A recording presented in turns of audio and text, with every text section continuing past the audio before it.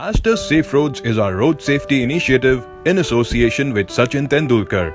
On February 7, we are asking you to take a pledge on road safety by tweeting your resolve. Here's how you can do it.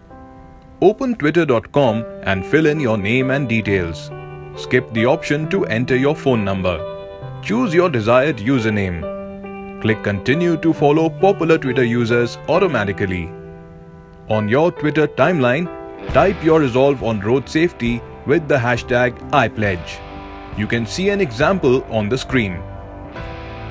Now click on the tweet button to publish your tweet.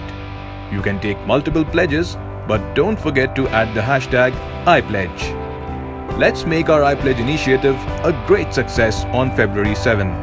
Thank you.